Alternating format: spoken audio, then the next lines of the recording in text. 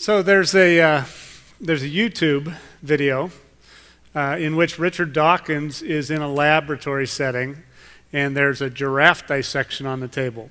So what there is in the in the giraffe is the nerve that goes from the brain to the larynx is unnecessarily long. That is, it goes beyond the larynx and then back up. So this is a video sent to me by a patron where we see a biologist and Christian apologist Rick Gerhardt address one of Richard Dawkins' videos a few years ago. Dawkins dissected a giraffe's neck and found that a branch of the vagus nerve, the laryngeal nerve, took an insane detour down and up the neck of a giraffe in order to reach the larynx, which is very close to the starting point. The argument goes like this. An example of how animals and humans could not have been designed by any sort of intelligence is the length of this nerve. Instead of simply traveling a short distance to the target organ, it goes down the neck to loop around an artery of the heart before ascending back up. This is highly unnecessary and disadvantageous in many situations. For example, this causes some limits to the giraffe's vocal cords, such as the inability to produce high-pitched sounds. However, the phenomenon can easily be explained by evolution. Since evolution doesn't strive to make things perfect, it just makes them work. Evolution can adjust many traits of living organisms to make them more optimal, such as the size of the neck or the size of the heart. What it cannot do, however, is reroute the laryngeal nerve entirely so that it stops looping around the aorta, which is why this finding is quite significant since it is exactly how we expect it to be. In fact, this looping around the artery evolved when fish transitioned into land animals. They developed to necks and due to this already present position of this nerve, it had to loop around the aorta. This is consistent since fish and other sea animals do not have this unnecessary looping. And like I mentioned already, evolution cannot redirect the nerve through a huge blood vessel. Now, this nerve isn't the only example we have. In fact, there are plenty of them, but let's hear what Rick has to say first. Okay, so my first response would be there's a problematic mixing of tenses here. Okay, would expect is, is a mixing of tenses. Uh, when we expect or predict something, it usually has a future realization. Either it will happen in the future or we will discover it in the future. I expect when I get home that my kids won't have done the dishes. Okay? But there's a future connotation to it. No, there isn't always a future connotation to it. We are saying if evolution were true, we would expect to find imperfections in humans and animal bodies. If the universe was created by an intelligent designer, we would expect to find something designed to the best possible degree. This just means that in order to prove the first premise, in this case evolution, premise 2 must be true. For example, I could say something like, I left some cake in the fridge when I left the house. If my brother ate the cake, I would expect to find the cake missing from the fridge when I get home. In this case, in order to prove that my brother ate the cake, I would have to find the cake not be present. It's not a mix-up of tenses, not at all. Of course, that doesn't exactly mean that the cake disappearing definitely proves that my brother ate it. It would just say that it is a possibility and we cannot rule it out. For an intelligent designer, we would expect everything to be perfectly designed as if an engineer did so. The fact that we find something like the vagus nerve making such a long detour shows that intelligent designer did not design the bodies of humans and animals. But since we expect that for evolution, we can't use this to say evolution is false like we can for an intelligent designer. Uh, the fact is that evolution did not predict that we would find such an arrangement in the giraffe's neck. Rather, it's, it's something evolutionists have discovered and in an ad hoc, after the fact manner, chosen to glob onto as evidence in support of their theory. The fact is that evolution won't produce perfect organisms. Something could go wrong, but instead of correcting it, evolution only needs to make it work. That's how natural selection can select traits to be passed on. Therefore, it is unreasonable to say that everything in nature would be perfect. Somewhere there would be an imperfect structure that may hinder function, but ultimately works. Even if this was discovered after proposing the theory of evolution, the important part is that it is still compatible with evolutionary theory and not intelligent design. It doesn't matter which came first.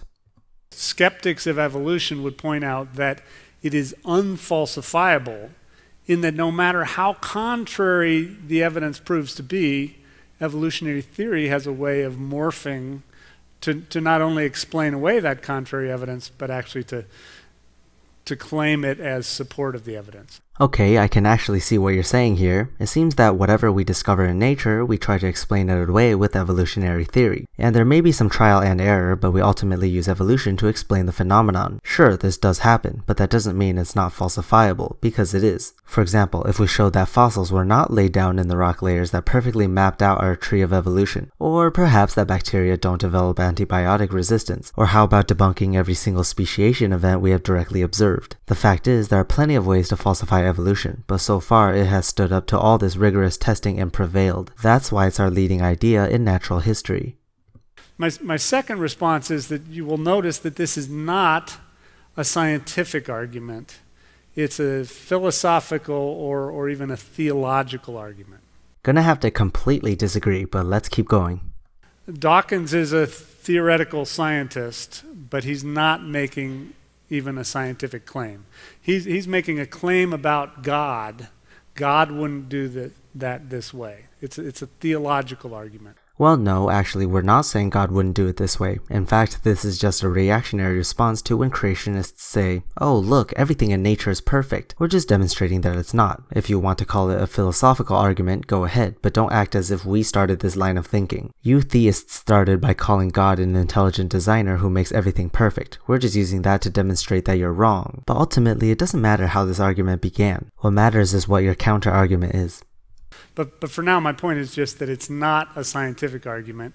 It's a theological argument, a philosophical argument, and Dawkins' expertise is in neither of those arenas. First of all, why does it matter if you label this as a philosophical argument or a scientific argument? Second of all, even if it is a philosophical argument, Dawkins can still make arguments based on it. Just because he's not a philosopher doesn't mean he can't talk about philosophy. Let's hear some real rebuttals now.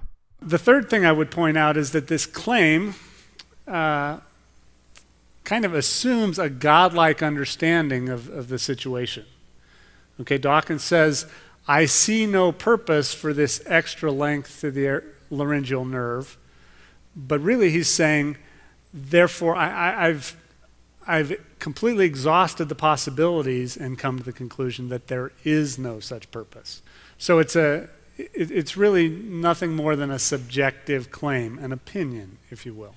Whew, okay, well, you're a biologist. You should know this line of thinking. When we say that we see no purpose, it really means that we've studied this intensively and we can safely conclude that there is no real purpose or benefits. It's like when we say there's no causation between vaccinations and autism. What, just because we can't find the link doesn't mean it's not there? No, in this case we can safely conclude that vaccinations don't cause autism. In science, we work to disprove the null hypothesis. If we fail to disprove the null, then the null is accepted to be true. It's just an aspect of the scientific method that you should be familiar with. In this case, the null is that there is no purpose in the length of this nerve. Since we haven't found any evidence that shows there is a purpose, the null is automatically accepted. Come on, dude, you're a biologist. Think like a biologist. The fourth point I would say is that it can never be any more than that. That is, we can discover design in the laryngeal nerve. We could, we could discover why there's compromise and added length for some, some purpose of compromise, or we could discover that there's actually an optimization there that we don't currently realize. We could refute Dawkins's claim, but we can never validate, or prove it. It will never be more than a subjective claim. so, this is essentially the same as your previous point. Look, if you can provide some evidence or argumentation on why this nerve needs to be this long, please provide it to us. But until then, we're going to assume there isn't one. Uh, the fifth point I would make is that this type of claim, which in, in hundred letter, uh, hundred dollar words is a, the claim of dysteleology, bad design, has a very poor track record. That is, every time evolutionists or atheists have offered up an example of bad design in living things, further research has shown eloquent design or compromise or optimization, which makes it very clearly why it was designed such as it is.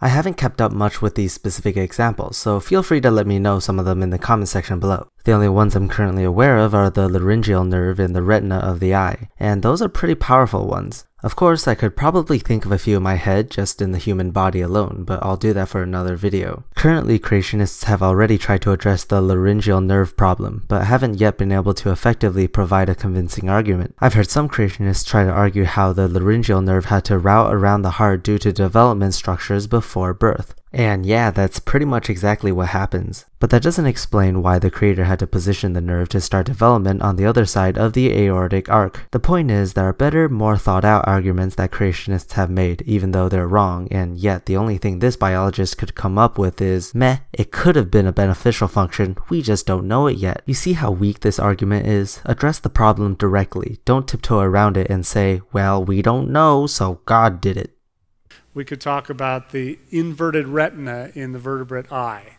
Used to be a classic uh, filler for this claim. Okay, so let's talk a bit about the eye, just briefly.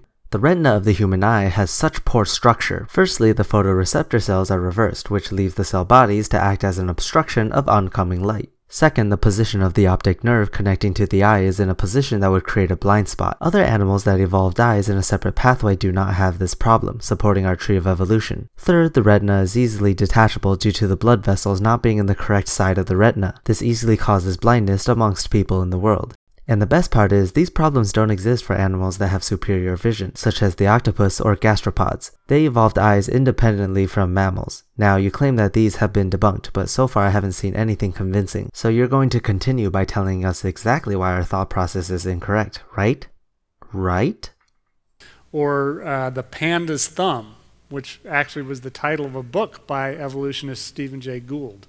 Well, subsequent research shows that the that the wrist arrangement of, of the panda is perfectly designed for stripping bamboo which is all it eats all day long. Well, the story isn't exactly how you're portraying it. The panda's supposed thumb isn't a real thumb, but rather is a protrusion from the wrist to make it better for stripping leaves off bamboo. The argument states that if an intelligent designer had designed the panda, he or she would have just given the panda real thumbs, which are much more effective at not only stripping leaves, but also for various other tasks as well. Evolution, however, would give us properties that aren't 100% optimal, but nonetheless serves its purpose, and that's what we see here with the panda's thumb. So there's a very poor track record of this sort of argument from dysteleology. Nah.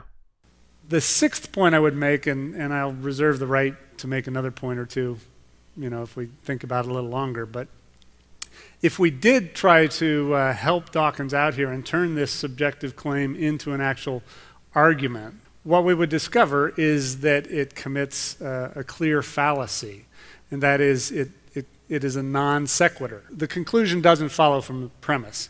If we grant that the laryngeal nerve of the giraffe is, in fact, nothing but a bad design, that doesn't lead to the, it cannot lead to the conclusion that there's no design involved at all.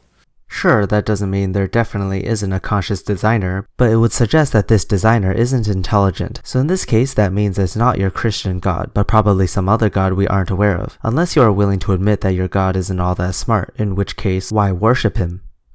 If evolution of the sort that Richard Dawkins defends and promotes is true, and if I were charged with, you know, coming up with glitzy YouTubes that would would show everybody why they should believe in evolution. I would like to think that I could come up with an argument that is A, scientific, not theological, uh, B, falsifiable, rather than merely subjective opinion. Uh, I'd like to think I could come up with an argument that is uh, cogent or valid rather than fallacious. Well, even if you think those things, at least he made a clear and direct point. You haven't really addressed the argument at all about the laryngeal nerve. I'm sure everyone would rather you go directly in and tell us what purpose the length of the nerve would serve for humans and for giraffes. That would spark an interesting biological discussion. Anyway, that's the end of the video. I hope you enjoyed it even though it's a bit lengthier and littered more with scientific explanations. I have a few awesome things planned in the next few weeks, so be sure to stay tuned for that. Bye.